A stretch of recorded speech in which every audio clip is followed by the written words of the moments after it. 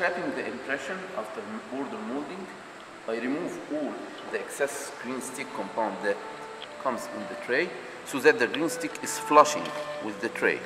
I just leave 2 millimeter from the green stick that record the borders. I like to revise with you the limiting structures. This is the labial frenum, this is the labial vestibule, buccal frenum, buccal vestibule, distobuccal area, hamular notch, hamular notch, post-dam area. This is our limiting structure. After scraping the impression, the tray inside should be, at the fitting surface, should be dry, not wet. Otherwise, the rubber base will not adhere to the tray. I will take two equal amounts from the rubber base. The rubber base has a, a base and a catalyst.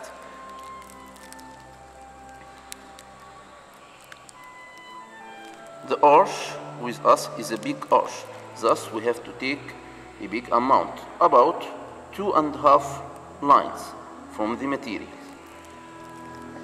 I will insert same amount from the catalyst.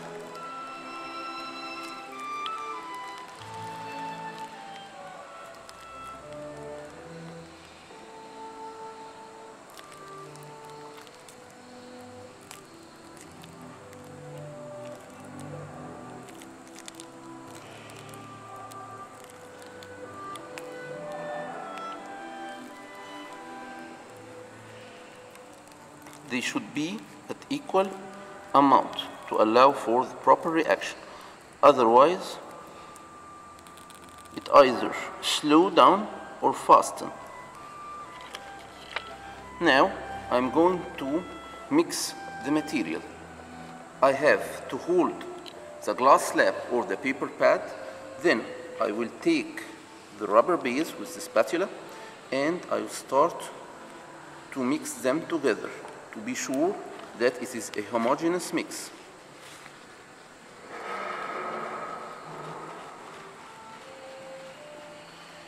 You have a long working time. Don't be afraid that it hardens or set with you. The working times is about five minutes. Take your time and mix slowly. Always make the mix in one direction. Otherwise, you may insert some air bubbles. After mixing and having a homogeneous mix, I can take all the material from the paper pad like that and remix to be ensured that there is no part at the base is not mixed. Then I will take the material from the paper pad, I go to the tray and I load the tray. I distribute the material all over the tray. After distributing the material at the tray itself, I can distribute it also at the borders of the tray. Take some of the material at the border of the tray, not only the fitting surface, to be sure that the material is distributed all over the tray. Now, as you see, I distribute the material.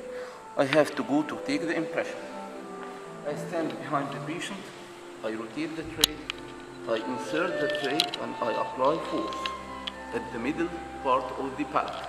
Then molding, downward and inward, downward and inward, downward and inward, unbuckling. That's it. Keeping holding the tray in its place until the material set. The rubber base takes about 5, milli, five minutes until it sets. Don't rush. Take your time, be steady, holding the tray in its position. Don't move your hand to keep the, the, the tray seated in its location. Keep the patient sitting upright and keep steady until the material sets down.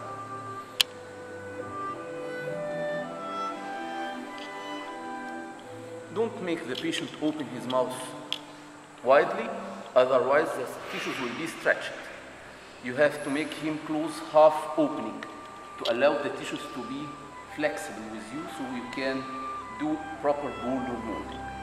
I keep holding the material inside the patient's mouth until it sets.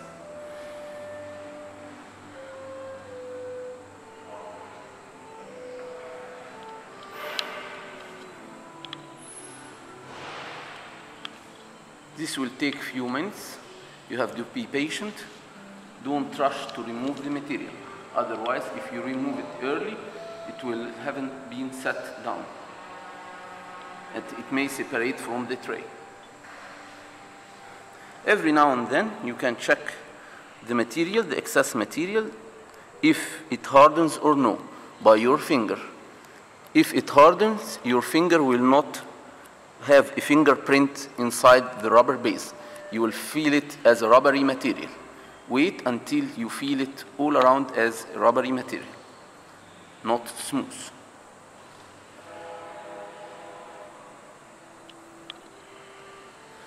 Don't check on the paper pad because inside the patient mouth it is the temperature is higher. So the setting will be faster. So we always check inside the patient mouth. Now the material has set. I have to stand in front of the patient. I insert my finger I break the ill seal and I slowly remove the impression from the patient mouth. We can check the impression together. You can find all the details are recorded.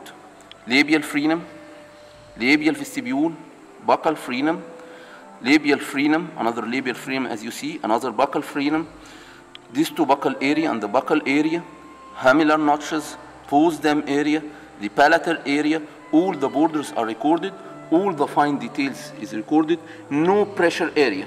How to find the pressure area? If you see an area with the green stick compound showing from the rubber base or the tray itself is showing from the rubber base, or one of the borders are showing from the rubber base. But here you can see all the material is recorded, all the material is covered by the rubber base. This is an ideal impression for an upper arch. Thank you.